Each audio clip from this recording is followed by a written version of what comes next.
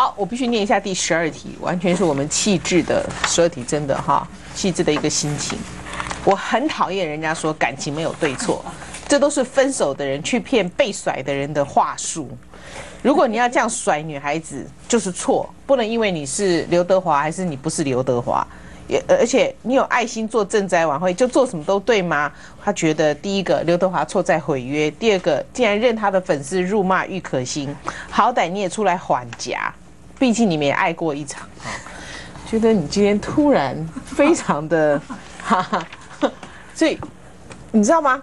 很多不要讲他对于他对于可欣的同情了哈，可是他前面那句话是他真实的感受哎，每次都跟我们讲爱情没有对错，对，就是我们被甩的人就不用跟人家讨什么公道跟对错，所以还会陷在这种情绪里面。其实爱情怎么样？爱情不是没有对错了，爱情是没有什么输赢可以去讨论那个问题的，就是你没有办法去讨债这种事情，你就是要。自负盈亏就对了，只能这样。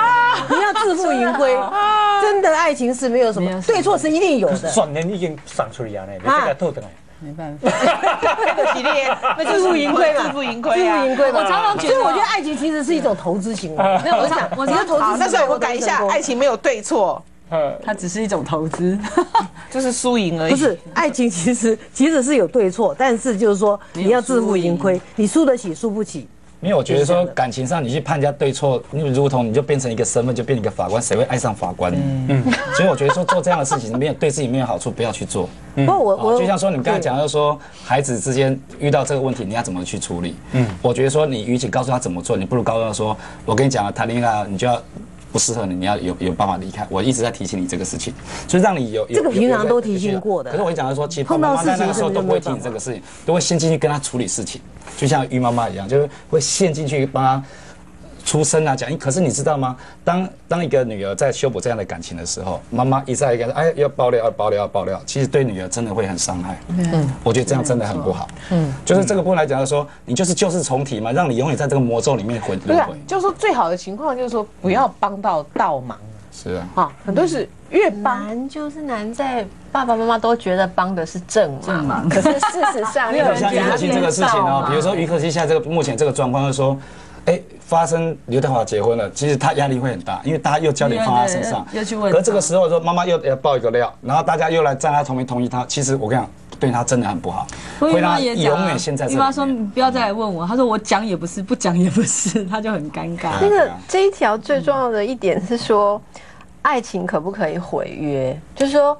你跟人家订约，然后进入一个爱情之后又毁约，这个事情有没有对错？不是不是，我觉得说这个事情很简单的，就是说，比如说你在发现另外一个是一个毁约的，你还还贪恋他，其他回到你身边，你不是在跟一个烂人打交道吗？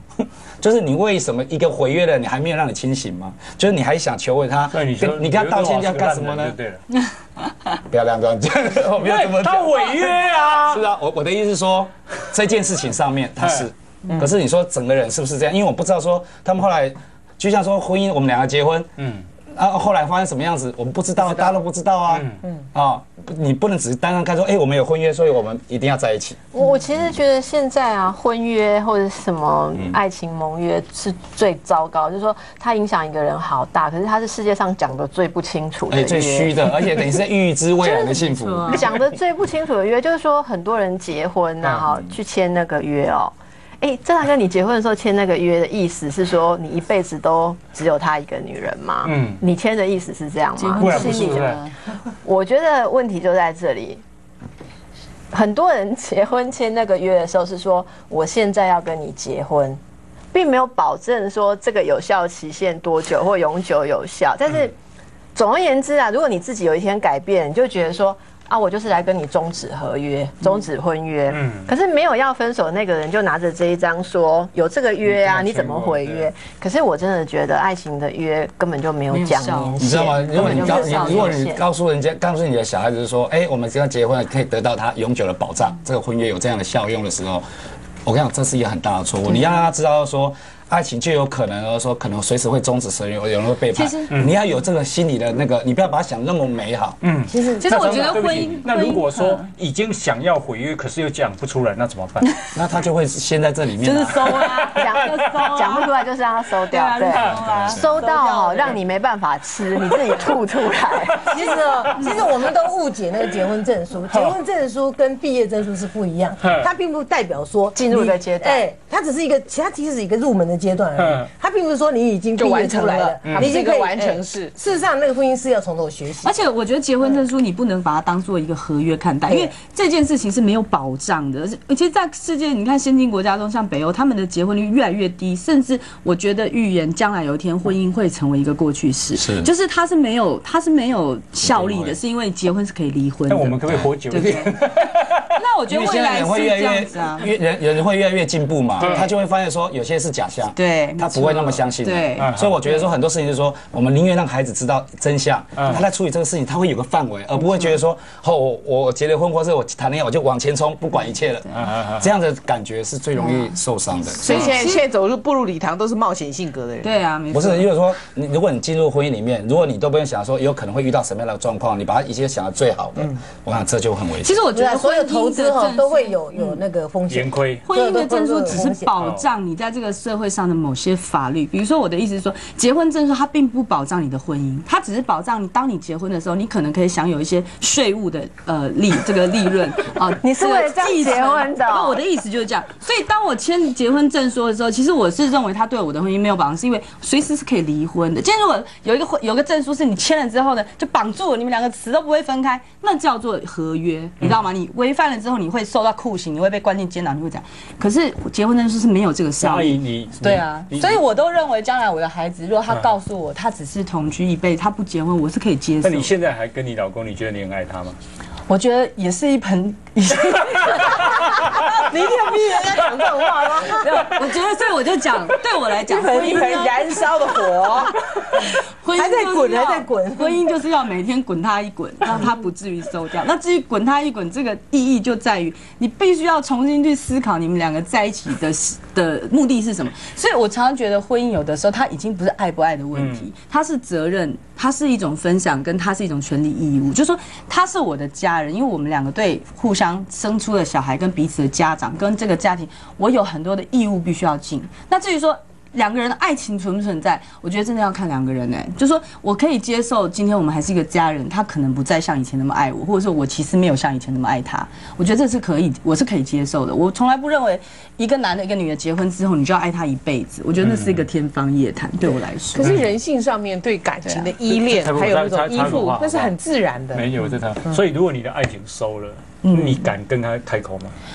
我觉得要看，哎、你这个是，我觉得这是一个好问题，我想过，就是说我当我的爱情不存在的时候，我的婚姻好不好存在？嗯，但是我觉得这是两回事。对，两回事。对，我觉得我可以接受，就是当我的爱情不存在，但我仍然维系这个婚姻。那是因为我今年已经到了四十岁，我走到这个地步，我知道我还有很多人生的责任跟义务必须尽。爱情不是我的全部了，它只是在我生活中可能只有十分之一了。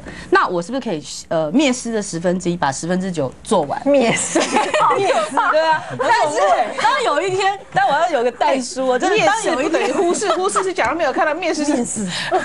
对，但是我的意思，当如果有一天突然间，我不知道是什么样的状况，如果爱情突然间在我的生命中又占了超过一半以上的分量的时候，比如说，当我觉得我十分之九的义务已经尽完了，我的孩子已经大了啊，或者是 maybe 是我们两个的状况已经遭到，我觉得这十分之一都不存在了，那么我觉得我有可能会结束掉婚姻，有那你。你敢在啊？但我现在大概还有十分之四啦，那你敢在没有爱情，但是婚姻有责任的状况下去选择另外一段爱情吗？你敢吗？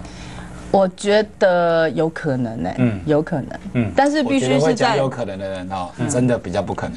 没有安逸有我告一次诉你因因为非常可能的时候，我觉得很多事情，很多人就是觉得说，哎，我我就是他，因为他被传统的完美的假象，嗯，都已经催眠了，所以他很多事情就说，哎，我绝对不会离，我觉得婚姻非常好，嗯，我绝对不会离婚。哎你太了解我了我跟你讲会讲这种话的人哦，真的就会出问题。都会出问题。对。我觉得反而当然说，哎，我觉得结婚不好哦，我觉得反他反而会小心，嗯。对。就是他反而会知道说这个事事情没有那么容易。对对所以我觉得说，因为代价你随太大你随便去鼓励人家结婚，真的是一个不负责任的行为。因为为什么？因为你都没有提醒他说，哎，这个压力很大哦，他不是只是去郊游哦。对，真的。你要注意什么？就是说，如果你的女儿真的要谈恋爱，嗯我告诉你，我会跟跟女儿讲，就是说，我跟你讲哦，谈感情要要要要谈的成功几率很低哦，嗯，然后要长久也不容易哦，然后如果你你你不容人家需要什么，你也不能投人家所好哦，你把一些危险的告诉他，他反而会知道说这个事情吓得不敢去他反而觉得说哦，这个都是可能不容易，他会小心一点，对，可反而比较容易成功哦。送你一。句话，可是你女儿会变成在爱情的国度里面非常没有魅力的女人。我我告诉你，其实我想魅力这件事情哦，跟你的理性思考是没有关系。你知道魅力是什么？你知道，魅力其实是我想荷尔蒙吗不是不是，其实魅 魅力是我想魅力跟你的性格有关系。我告诉你，有些人的性格就是让会你让不要太天真了，就是说，爱情里面的魅力，一方面来自于你个人的吸引人，你个人的个性，这我同意。可是爱情里面，爱情跟其他东西不一样，是说它里面包含一种 devotion，就是说你感觉到对方为你灌注多少。所以如果说你一个人，你完全就是说，哦，爱情一定是很失败，我一定要保护我自己，我绝对不可能这样子，我不可能付出太多，我不可能这样。其实你就没有办法去 touch 到对方那个说你在投入跟牺牲那你误会我你误会我我先进一段口音，好不好？爱情没有一点冒险的认知。没有你你误会我的意思。大家快要吵翻了。不过真的，因为我我觉